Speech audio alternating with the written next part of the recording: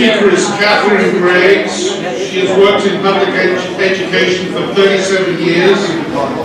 She has a love of local history and the discovery of an original mud wagon stored at her local fairgrounds fueled an interest in stagecoaches and the stagecoach era, and a desire to learn more about the whole world. She has spent many happy hours driving along portions of what was the California Oregon Stagecoach Road, aka the Big Road, in her county, visiting extent stage stations and reading about the lives and adventures of all the stakeholders in the stagecoaching world. And that include drivers, passengers, hostlers, farriers, the horses, and the stage stations and stops. So I ask now, Katherine, if you would come up and talk to us about the title of your talk, which is Yahoos from Eureka Stagecoaching in Northern California.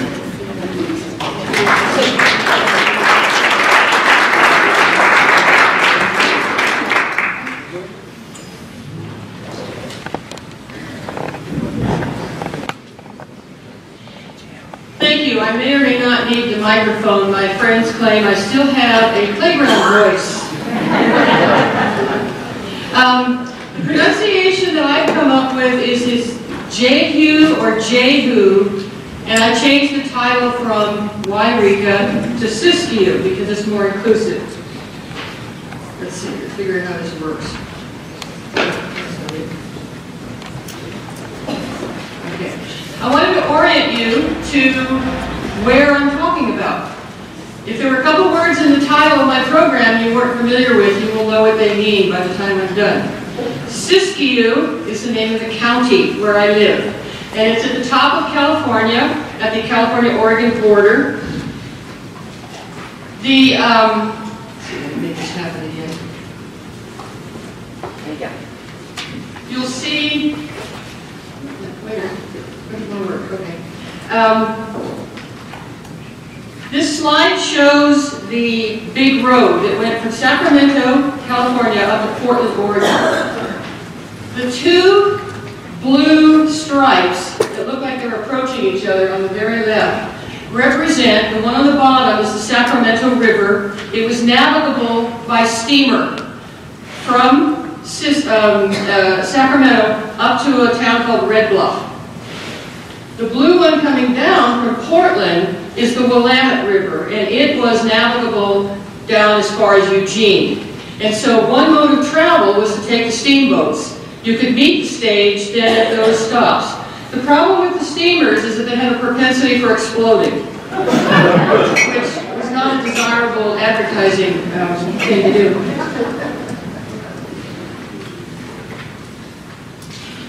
The big road, as it came up from Sacramento and came through my county, or the California Oregon Stage Road, as it was also called, had branches to it. And you need to understand those, what those, where those branches were in order to understand some of what was happening with the stagecoaching era. Most people are familiar with the 49ers, and I don't mean the football team, I mean the gold canners, um, who came into California. Gold was discovered at Sutter's Mill in 1848. In uh, 1849, we were hearing about the um, 49ers. In 1850, California became a state. But there was a second gold rush that was in my county. And actually, more gold value-wise came out of Siskiyou County than came out of what we traditionally think of as gold country. Because in gold country, they were also mining silver. We did not. In 1852, Siskiyou County became a county. And in 1854, we got our first post office.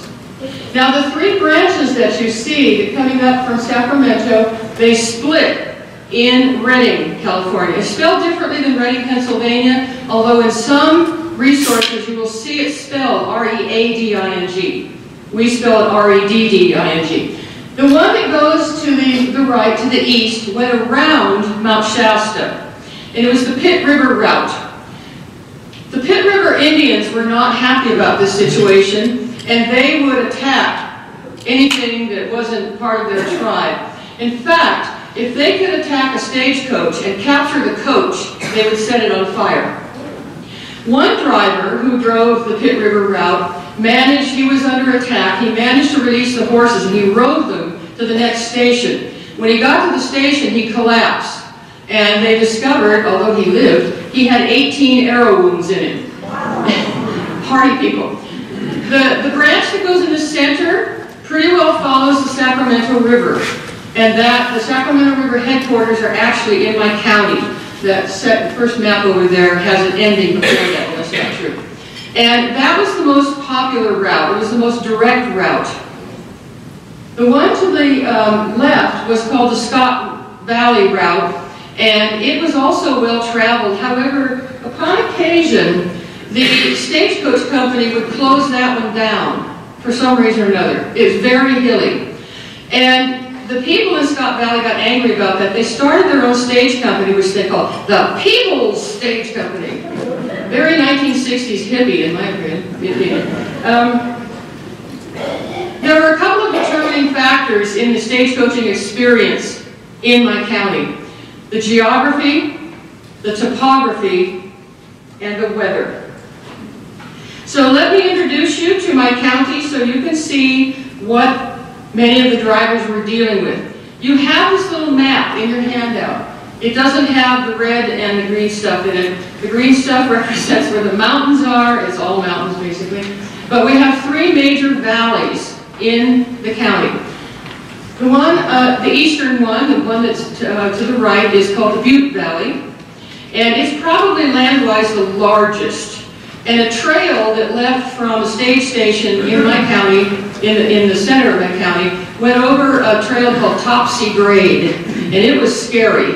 It's scary now. You can drive it in a car if you're brave enough. And um, that eventually, if you went further north, out of the Butte Valley, you came to Linkville, which is now renamed Klamath Falls, Oregon.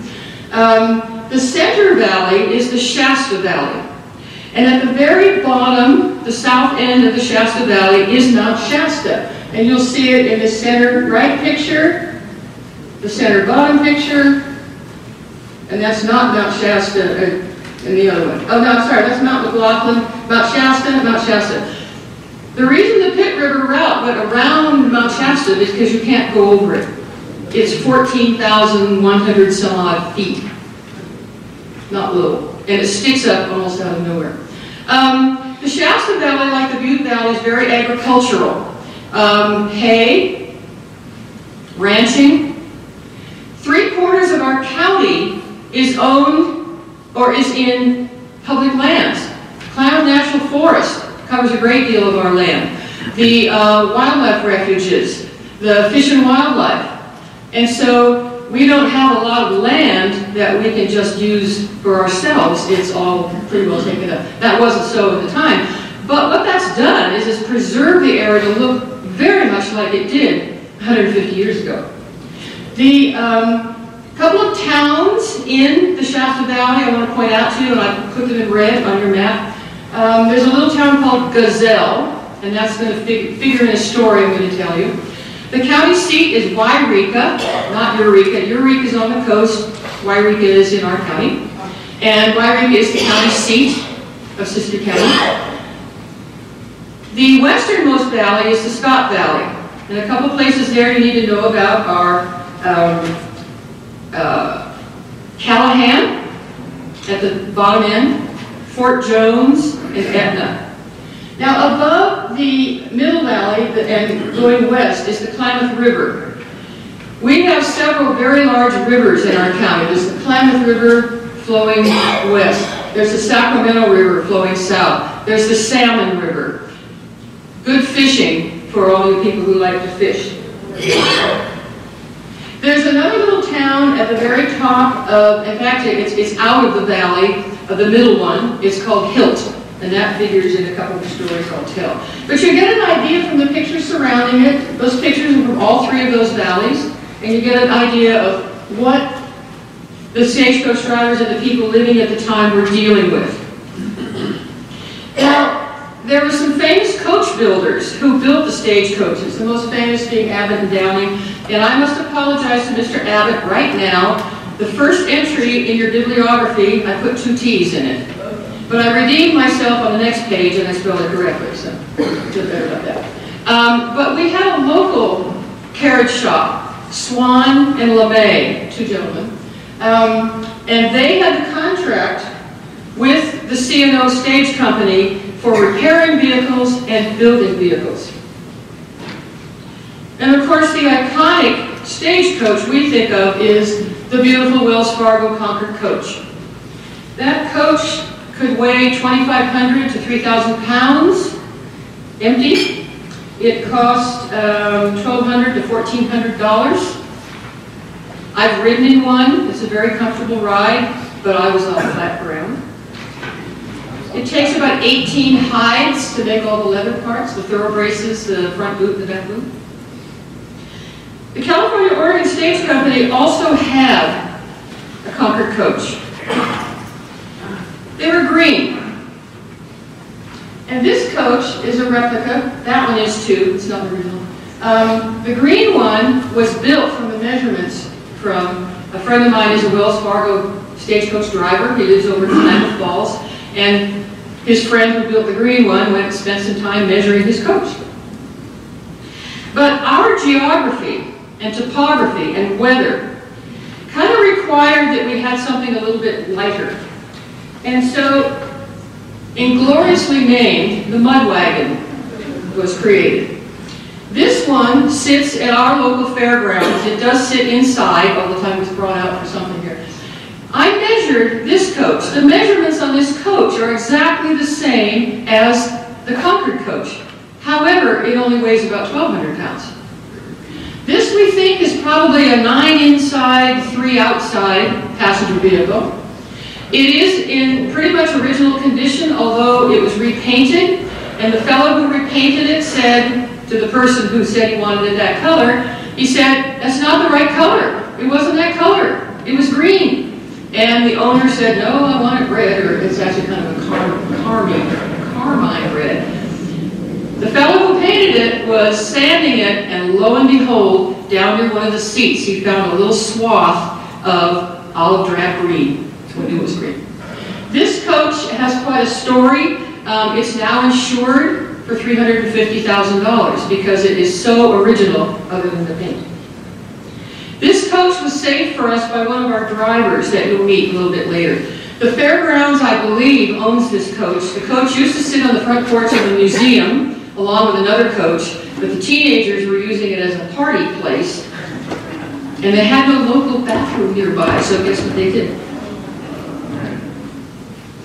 This little mud wagon is just kind of up the road from me. It's in private hands, owned by the Burton family. Mr. Burton won this in a bet. It was a political bet. And it was found rotting in a field. He wanted it, so he had this bet. What it was, I don't know. The first time I saw this coach, I thought, that's got to be an Abbott and Downing. Because here is their mail coach, you can't see it on the bottom, it's mail coach number 201 in their catalog. I thought, that has to be. But further reading has indicated to me that it was probably built by Swan and LeMay. And Swan and LeMay, we think that they didn't build them from scratch. We think they ordered the running gear from a company called MP Henderson in Stockton, California. In my part of the country, we don't have the hardwoods. We have oak trees, but they're gnarly ones. You can't get a really long, good piece of wood out of it. So they were probably ordered from somewhere else. They may have built the, the, the top carriage part, not quite sure. This is Swan and LeMay's um, blacksmith shop in Yreka. We think that's Mr. Swan standing next to the uh, carriage there, the, little, the, shorter, the short guy with the hat on. And I want to introduce you to something that I only fairly recently found, found out about. You can't see this, and I know you can't see it. This is a Sanborn fire insurance map. If you are not familiar with those and you want to learn about where things were, these maps were made for every town in the United States. And they came and they did the drawings, they very often only put livery stable or blacksmith shop or firehouse or store, and they would describe it, what kind of foundation it had. And they do them, they repeat them every so many years. The Library of Congress has, um, has been digitizing these. They have a lot of them online right now. Their goal is to put 500,000 of them online. because they were repeated for your town. So if you're trying to find something, maybe your local historical society also has access to, a- San Francisco Public Library has a large collection of them. Sanborn fire insurance maps. And Sanborn Company, I believe, still existed. We know that Swan and Lemay built this code